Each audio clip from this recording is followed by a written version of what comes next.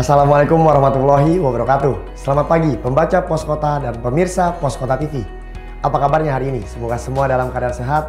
Kembali bersama saya, Guru Nara Persada dalam Headline News Harian Pos Kota edisi Kamis 8 April 2021.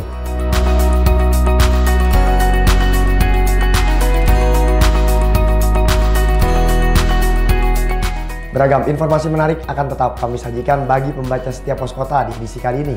Di antaranya, berita pelaksanaan uji coba belajar tatap muka di sekolah di wilayah ibu kota. Di hari pertama uji coba ini tampak beberapa siswa terlihat canggung saat tiba di sekolah dan bertemu teman-temannya. Hal ini wajar mengingat sudah lebih dari setahun para siswa tidak belajar di sekolah akibat pandemi COVID-19.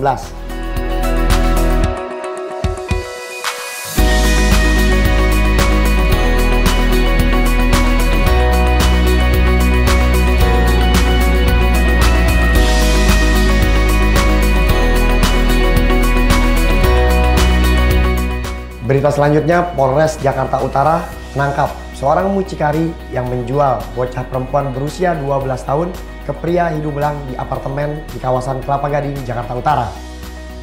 Bocah perempuan yang masih duduk di bangku kelas 5 sekolah dasar itu dijual dengan harga Rp450.000 sekali kencan melalui aplikasi WeChat.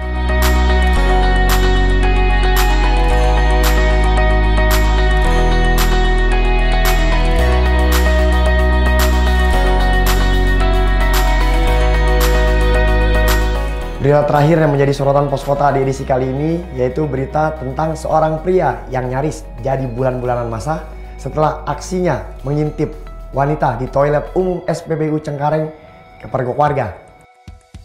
Kejadian ini viral di media sosial.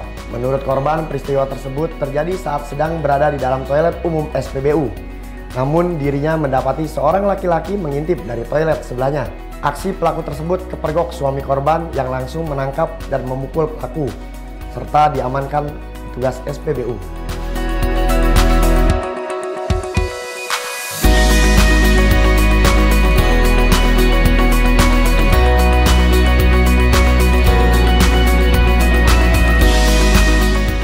Demikianlah beragam informasi menarik yang kami sajikan di Pos Kota edisi kali ini. Tentu saja masih banyak informasi lainnya yang sayang untuk Anda lewatkan.